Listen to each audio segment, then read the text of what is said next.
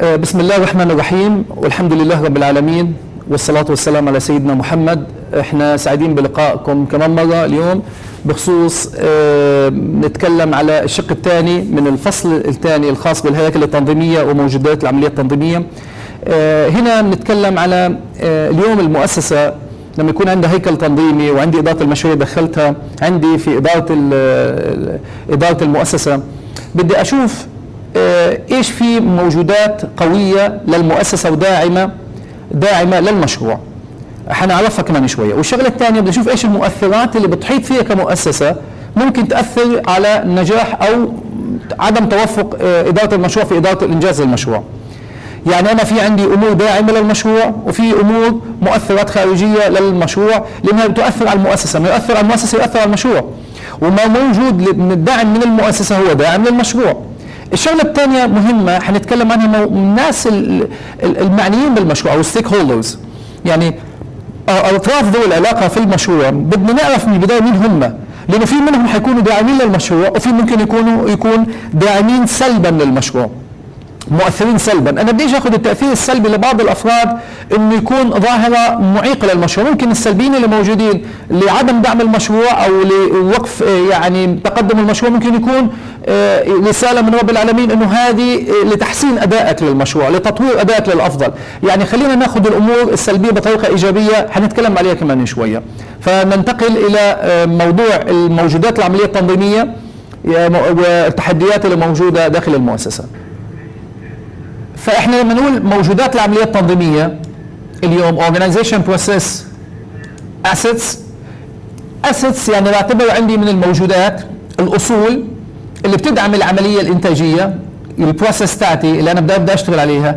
هذه ال process في عندي أصول بتدعم ال process هذه الأصول اللي بتدعم ال process تاعت المؤسسة يعني خاصة بالمؤسسة قد تكون هي أساسي داعمه للمشروع.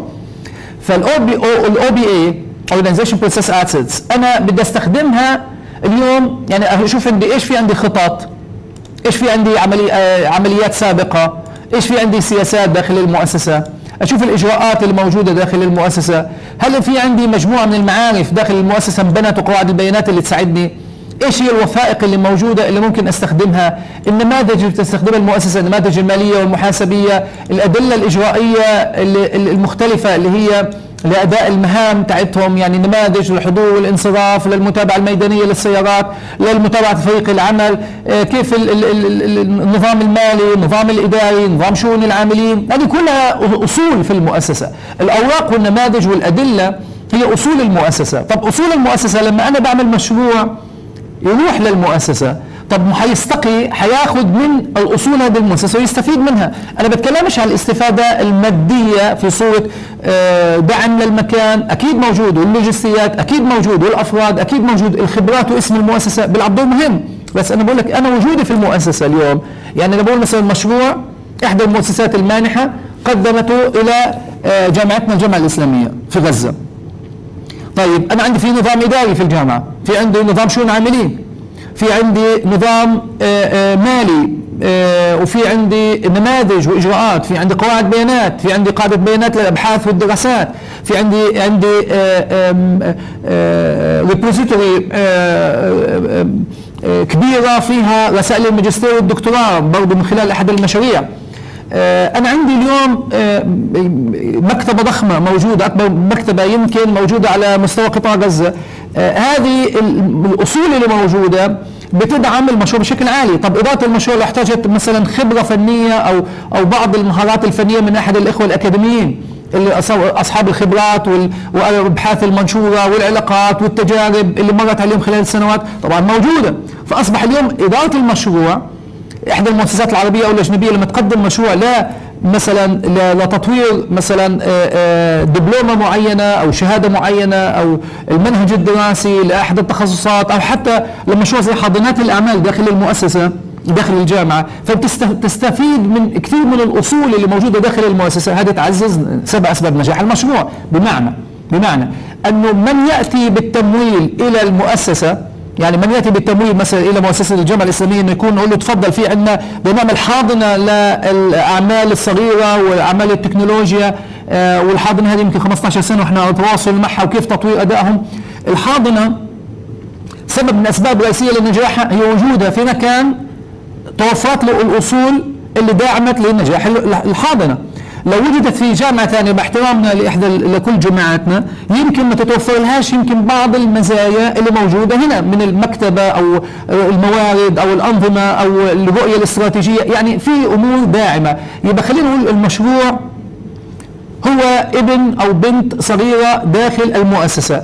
إذا كان الأب قوي وعنده كثير من الموارد والإمكانيات والأصول فهذا الابن أو البنت ستستفيد بشكل عالي جدا من إمكانيات الأب. فإحنا بنقول إنه وضع المشروع في مؤسسة توفرت له سبل النجاح وتوفرت له الأدوات اللي هي هيئت له أسباب عالية للنجاح. وبالتالي مدير المشروع بيحس حاله إنه هو مسيطر على كثير من المتغيرات اللي هي أو الموارد اللي هو محتاجها لسبب اسباب نجاح المشروع.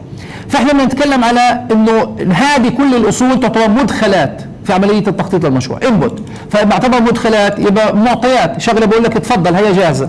أو بدك نظام مالي لا ما تقلبش حالك. تعملش نظام مالي. ما تجيبش برنامج من عندك. ما تكلفش حالك ب system ما تجيب لناش محاسب. هذا كله إحنا موفر جاهز. قاعة لا ما تجهزش حالك في القاعات. في عندنا قاعات موجودة ومهيئة ومكيفة ومصورة. لا تغلبش حالك في إحنا وفرنا كثير على اداره المشروع. امور كان يعني من ال من ال من ال من الجدية إنه تخلي أسباب نجاح المشروع عالية جدا. طيب ننتقل للنقطة الثانية المغايرة. طيب أنا اليوم كمؤسسة كإنتربرايز اليوم مش في عندي environmental factors بتأثر علي بشكل بطريقة عالية. العوامل البيئية الخارجية اللي هي جاية من برا.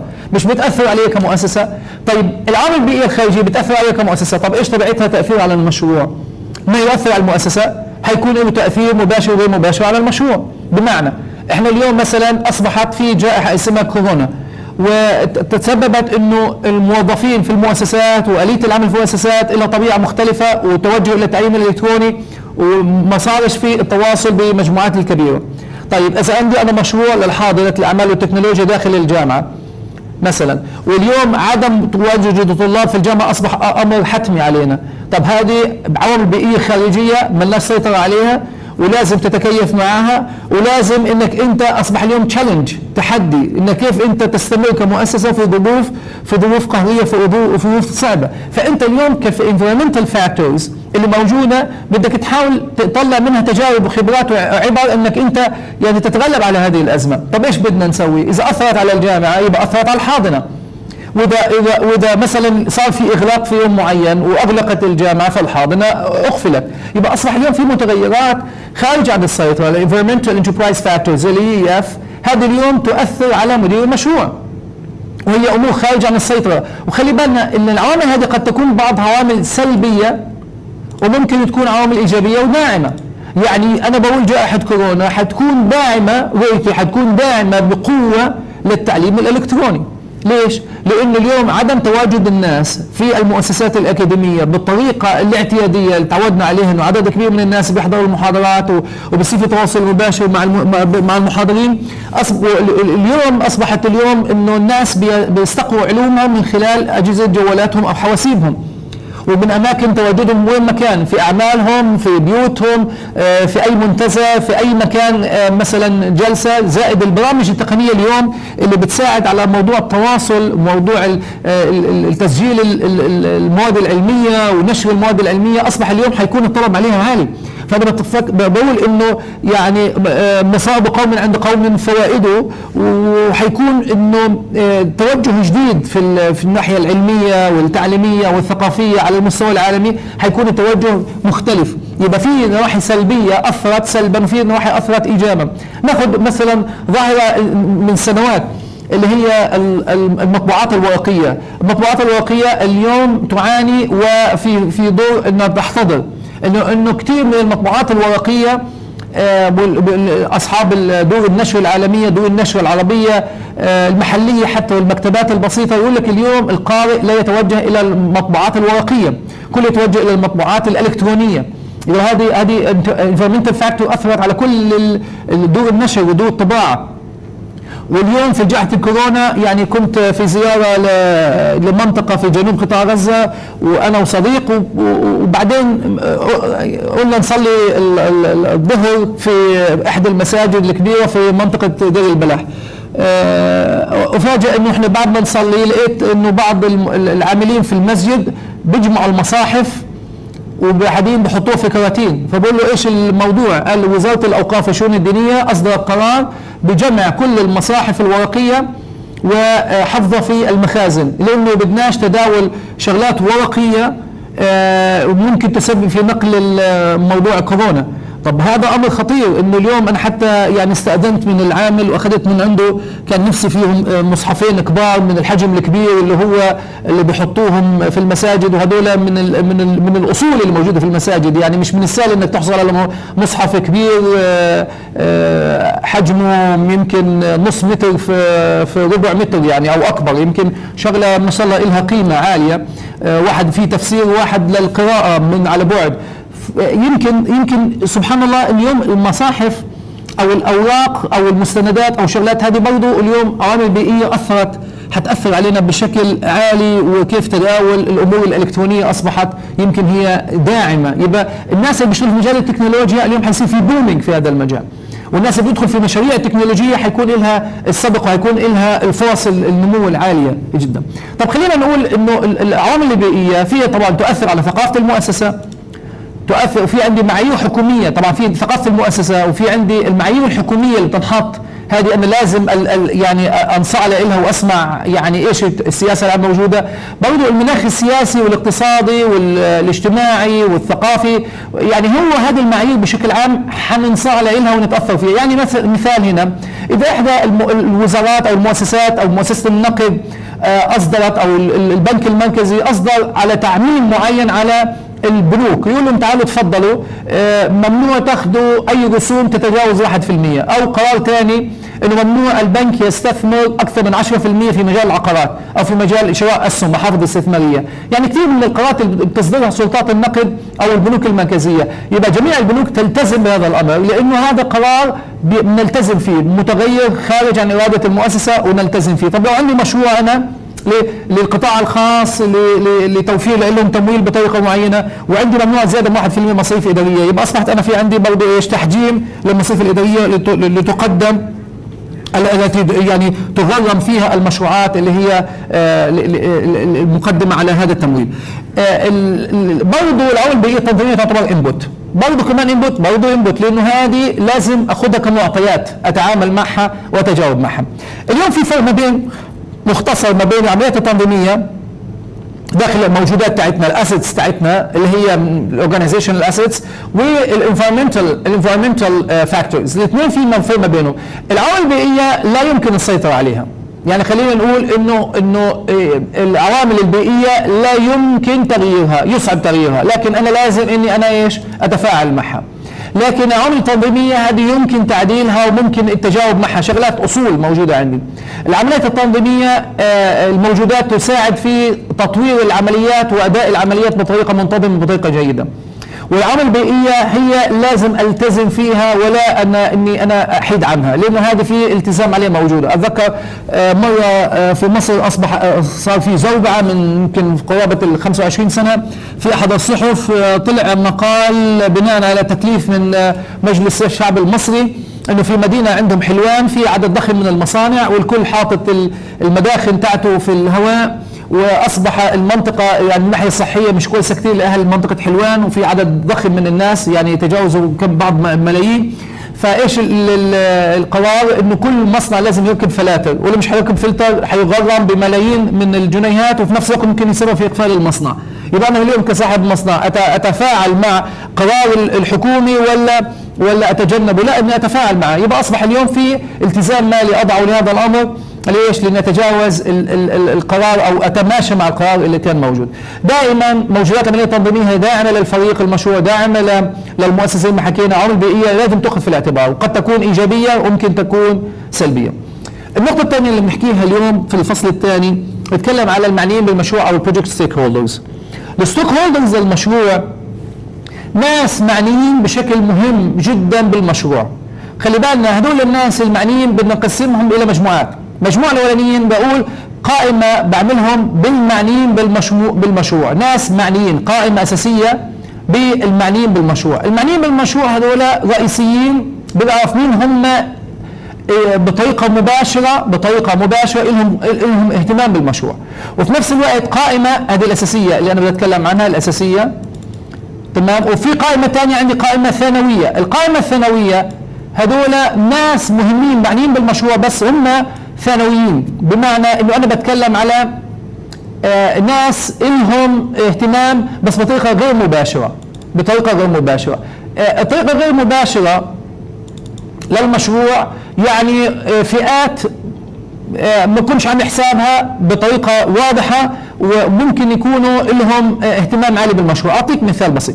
آه، في أحد المشروعات ال UNDP عندنا في قطاع غزة قسم عندنا اسمه GEF. هذول بيشتغلوا في مجال البيئة وتطوير البيئة وتحسين الظروف البيئية والمناخية في في العالم. ولهم مكتب لهم في غزة. ففي تمويل حصلت هي مجموعة من المؤسسات آه، لتطوير الأنشطة البيئية في في في مكانها. في مدارس في جمعيات آه، في بلديات في جامعات. إحنا في الجامعة أخذنا مشروع آه، له علاقة بتحويل المخلفات الزراعية مثلا قشر البرتقال من مصنع البرتقال أو المخلفات الزراعية من المزارعين تحويلها إلى غاز. تحويله إلى غاز والغاز هذا يستخدم في آه، طهي أو آه، في المصانع أو ما شابه. ففي كانت آه، في اجتماع اقترحت إنه ليش بنعمل زيارة ميدانية للمشاريع المختلفة اللي استفادت من تمويل صندوق جيف. وبالتالي يشوفوا إيش المشاريع البيئية اللي استفادت منها كل مؤسسة على حدة ويكون تجارب عبر ما بين المؤسسات وبعضها. والفكرة لاقت الحمد لله ترحيب من ذات المشروع وجابوا لنا باص وأخذوا عدد كبير من المشاركين وصرنا نعمل زيارات في مدارس طورت الجانب البيئي وعملوا آه، مناطق للتشجير وفي جمعيات عملت آه، تشجير وعملت بعض الأنشطة اللي ما بين الطلاب للاهتمام بموضوع البيئة والمحافظة على البيئة. آه، بتخيل آه، بتذكر إنه كان في آه، جمعية كانت في شمال في غزة في منطقة بيت إنه استفادوا حولوا منطقة زي منحدر أو مدرجة سبحان الله طبيعيا هذه حولوا من مكب النفايات إلى حديقة لأهل المنطقة. طب إذا فكرنا من هم المعنيين الرئيسيين بهذا المشروع؟ المعنيين المشروعين هو أهل المنطقة. طيب ومين كمان؟ الممول. مين كمان؟ البلدية. طيب مين كمان؟ لو فكرنا مثلا بعض السكان المحيطين ملاصقين هذا المكان حيكون الاستفادة منهم عالية. طيب مين كمان؟ الناس اللي بيشتغلوا في موضوع النفايات ومن النفايات مين كمان؟ القطاع الخاص. مين كمان؟ الجمعيات الخيرية. مين؟ الشباب اللي في المنطقة اللي اشتغلوا على المشروع. هذول نعمل قائمه فيهم. طيب مين القائمة المشروع قائمة غير مباشرة ثانوية. لو إجوا ناس زوار هذه جنينه لو في ناس كانوا يعني مشاريع ثانية مستقبلا اتبنت على هذه الجنينه أو لو كان مثلا مشروع ثالث له علاقة بالنفايات استفاد من هذه التجربة. أو حي ثاني من الأحياء شاف هذه المكب بالنفايات تتحول إلى حديقة وهو عمل زيها. يبقى إحنا ممكن وممكن نقول مثلا أرض فاضية استفادت من هذه الحديقة وعملت مشروع تجاري. يبقى أصبح ان في قائمة ثانوية بالمعنيين بالمشروع وبحاول أوجدهم أو أحاول أتخيل أو أوضح من خلال الخبرات والاتصالات مين هم الناس هذول. القائمة الثالثة قائمة بالمعنيين الرئيسيين بالمشروع وهذول قائمة ممكن يكون لهم تأثير سلبي وتأثير إيجابي ولازم أحط تحتهم خط وأهتم فيهم بشكل عالي جدا. طب مين هذول؟ هذول ممكن يكونوا مستقيين من المقايمه الأولى والثانية بس هذول حيكونوا لازم اشركهم معايا خطوة بخطوة. يعني أنا كمدير مشروع كل يوم أصبح عليهم يعني بما معناه يعني إنه كل أسبوع لازم يكون في تواصل ما بينهم كاجتماع أو ابعث لهم تقرير أو يكون أخذ منهم موافقة. ما بينفعش أخذ أي خطوة إلا بموافقتهم. مين هم؟ الممول الجانب الحكومي الممول هو بده يدفع الفلوس. وقلنا قصة من ملك المال ملك القاري لازم أطلع الممول خطوة بخطوة على أي إنجازات بيتم بالمشروع أو المراحل عمله. اثنين عندي اللي هو الجانب الحكومي. يعني أنا بدي آخذ قرار لتحويل منطقة مكب نفايات إلى منطقة مشجره بدي أروح للبلدية وأخذ منها موافقتها. بدي أروح مثلا لدائره الحكم المحلي وزارة الحكم المحلي أو إذا بديش وزارة الحكم المحلي ممكن أتوجه لوزاره الزراعة انها تساعدني. إذا في جهات رسمية لازم أخذ موافقتها. بدي أعمل معرض للكتاب بدي أروح أخذ تنسيق مع وزارة الثقافة وبده ياخذ تنسيق مع وزارة الداخلية وبده ياخذ تنسيق مع البلدية. مثلا إذا بيعملها في منطقة آه، تابعة للبلدية. يعني أصبح اليوم ما بينفعش نعمل مثلا معرض للثقافة في منطقة عامة بدون إذن من وزارة الداخلية. طب يا عمي إيش اللي بيصير هذا؟ أو وزارة الثقافة. طب ما هذا نشاط ثقافي بتوفر له وزارة الثقافة الدعم والتأييد وممكن يكون له تمويل كمان. يبقى أصبح في عندي قائمة الموجودة هذه قائمة مهمة كثير وهذه القائمة آه لازم تكون موجودة عندنا.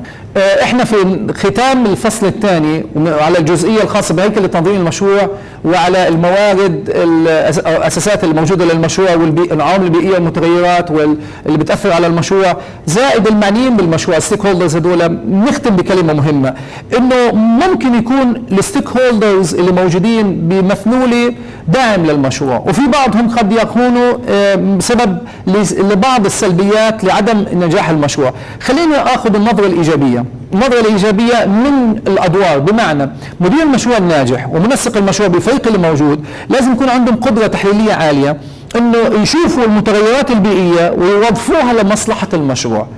يعني أو عسى أن تكرهوا شيئا وهو خير لكم. بمعنى إنه أي متغيرات بيئية قد تظهر سلبيا للمشروع بتحمل في طياتها بعض بذور الإيجابية والخير لإدارة المشروع. بس بدها نوع من التحليل والدراسة والتمعن لأنه كل تجربة قاسية يمر فيها المشروع سواء من البيئة المحيطة أو من الناس المعنيين بالمشروع لإفشال المشروع أحيانا أو الوقوف أمام المشروع. قد يدي لك رسائل هي رسائل من رب العالمين جاية لك بطريقة مباشرة وغير مباشرة. انتبه أنت اليوم تحتاج إلى تعديل مسار المشروع تطوير المشروع للأفضل قد تظهر منه شيء للأحسن. خليني أتذكر قصة بسيطة كانت تعرض لها ستيف جوبز زمان. في بنائه لشركة تكنولوجيا المعلومات ونجاحه في ال iPod وال iPad وبعدين انتقاله اليوم لل iPhone. آه، في فترة كانت في حياة ستيف جوبز كانت قاسية جدا. لما نجاحه وعمل شركة برمجيات عالية آه، وجاب معاه فريق ودخلهم في إدارة الشركة ولهم حصة في رأس مال الشركة. تعرضت الشركة لبعض الخسائر ومشاكل في أداء إنجازاتها وبالتالي مجلس الإدارة آه، اجتمع مع ستيف جوبز قالوا له أنت فاشل في إدارة الشركة اللي أنت أسستها. من فضلك أنت اقعد في البيت اجلس في البيت ارتاح واستفيد من حصتك اللي موجودة في في الشركة وإحنا حندير الشركة. وكان قرار قاسي إنه اللي أسس الشركة يقعد في البيت. بس خلال وجوده صار يدرس الملفات ويدرس الشركة تاعته اللي موجودة بالأقسام اللي موجودة. إيش؟ وين الأماكن اللي فيها فشل وخسارة؟ وين الأماكن اللي ممكن يكون فيها أسباب للنجاح؟ خلال سنوات. والشركة استمرت بمشاكل وخسائر واتصلوا بعدين قالوا له تفضل تعال إحنا بدنا إياك لك إحنا إحنا الشركة حتضيع هو اكتشف جزئية قلب نابض صغير صغير في في إحدى في في الشركة الكبيرة البرمجيات إنه عنده كان في animations كان في قسم عنده بيعمل animations بيعملوا الأفلام الكرتون وبيعملوا آه، شخصيات الكرتونية. وكانوا يغطوا تكاليفهم ويعملوا إيرادات وعائد ممتاز. اللي كانوا يعملوا شخصية Buzz Lightyear و Mister Woody اللي بدت فيه أول أفلام الكرتون ال animations اللي عملت اليوم نقلة نوعية في مجال تكنولوجيا المعلومات والناس قديش صاروا يحبوا يقبلوا على هذه الأفلام نوعيه من الأفلام الكبار قبل الصغار وبيكون يعني سهرات عائلية في نهاية الأسبوع. آه، في ال weekend أو نهاية الأسبوع. إحنا آه، شاكرين جدا لحضراتكم اليوم. آه، ونسيبكم في رعاية الله وأمنه والسلام عليكم ورحمة الله وبركاته.